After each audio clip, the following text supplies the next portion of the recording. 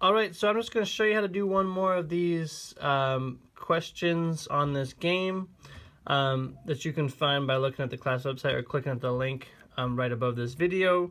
Um, I'm going to do level 10, um, which is right on the back of your packet. If you want to follow along on the back of your packet, it looks like this. Um, this level is a little bit different because you're trying to get this guy to catch some ice cream cones. Notice if we hit ready and go, all these ice cream cones are going to fall and he is not in the right place to catch them. So we need to move him so that he can catch all of those ice cream cones. It's basically the same idea though. We're trying to use this line to figure out initial positions, velocities, and so on. Um, so we're going to start by, uh, by annotating that graph, um, which looks like this we'll, we'll uh, make that triangle that we know we need to make. Um, and I'm going to draw an arrow and an arrow here. Notice we've got two sections of this line. We can't think of it as just one line. We need two sections to this line. And my rise for the graph is the displacement. That is, triangle x change in position means displacement. And this is a rise from 0 to 5 meters, which is equal to negative 5 meters. My run is equal to 0 to 5 seconds. This is going to be the run is equal to a time interval of 5 seconds. Now, that's real straightforward. I can tell that from looking at the graph, but I also want to show that I understand where those calculations come from. I'm going to show that here. So I'm going to calculate a time interval from 0 seconds to 5 seconds. It looks like this. Triangle T equals T final minus T initial. That is 5 seconds. That is the time, the clock reading when the slope ends minus 0 seconds, which, as we already know, was 5 seconds. Um, we can we did this before in class for displacement, but we can do it for um, time interval just the same way. Um, we can calculate the displacement just like we did. The change in position equals x final minus x initial, which will be the final value of that position is negative 5 meters minus 0 meters equals negative 5 meters. Not so complicated there. Um, but down here we need to use these two numbers to calculate an average velocity. And we remember velocity, V average, is the rise over the run, which in this case is equal to the change in x over the change in t.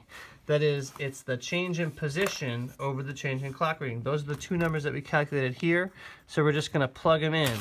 Negative 5 meters divided by 5 seconds equals negative 1 meters per second.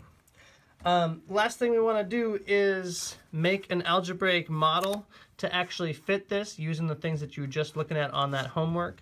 Um, we want to use our initial position and our velocity to fit something that looks like this. Position equals velocity times t plus x initial. In this particular case, the velocity, as we know, is negative 1 meter per second. We're going to leave t as a variable, and we'll add 0 meters. You could actually leave this off if you wanted to, but notice my initial position for this is going to be 0 meters. That is the algebraic model that I need. Um, now notice if I just type in um, an initial velocity of negative 1 meters, and I hit this thing, um, ooh, sorry, whoops, I, I hit negative 2 instead of negative 1, my bad. Um, if I hit this, Notice this guy will catch the ice cream cones on the left, but if he keeps moving in that direction, he's going to drop all the rest of the ice cream cones. We need to figure out what his velocity is going to change to by making another triangle and another calculation here. So let's try that. we want to annotate that slope again um, with two arrows and say this is a displacement from negative 5 meters all the way up to 4 meters. That's going negative 5, 1, 2, 3, 4, 5, 6, 7, 8, 9. So the displacement is 9 meters in the positive direction.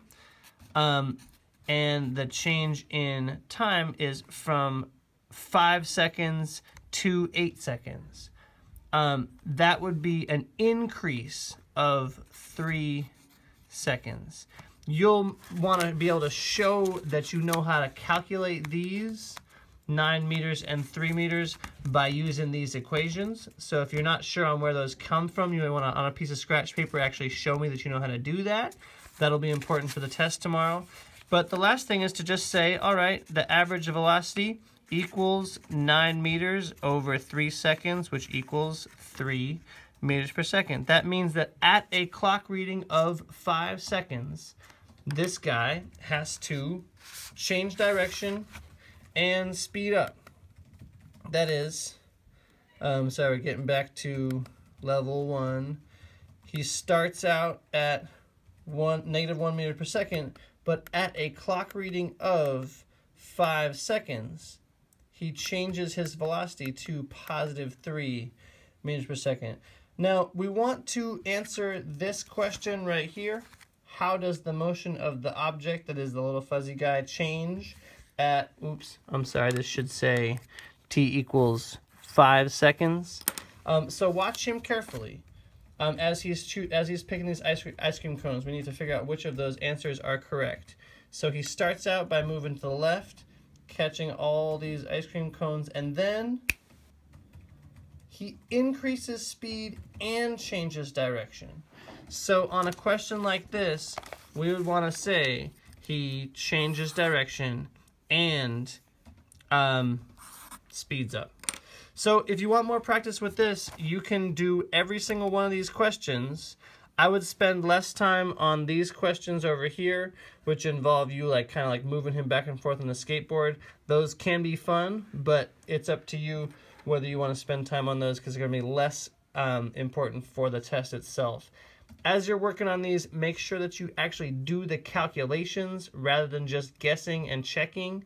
Um, guessing and checking is helpful, but it's not nearly as helpful as actually trying to do these calculations so that you're ready to do them on the test tomorrow.